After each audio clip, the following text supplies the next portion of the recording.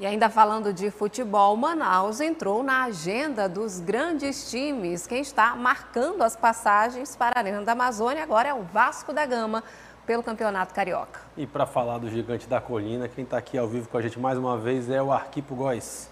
Arquipo, mais uma vez boa noite para você. Já se sabe de que maneira o Vasco vai participar na Arena da Amazônia?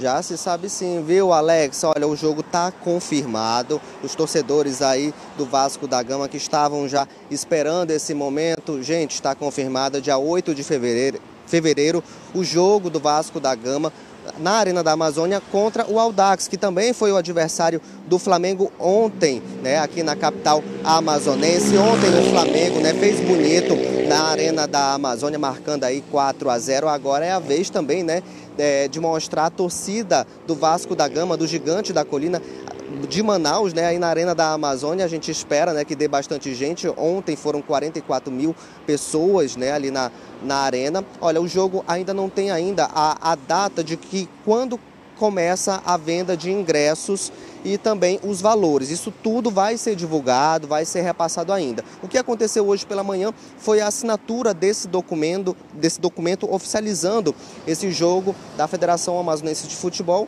junto com a Federação é, do Rio de Janeiro, confirmando esse jogo aqui em Manaus no dia 8 de fevereiro, na Arena da Amazônia. Só para relembrar um pouco, né, a última vez que o gigante da colina esteve aqui em Manaus foi em 2022, em, na oitava rodada da Série B do Campeonato Brasileiro, em um embate aí também com, é, contra o Guarani. Foi uma partida que não teve nenhum gol, foi 0 a 0 né?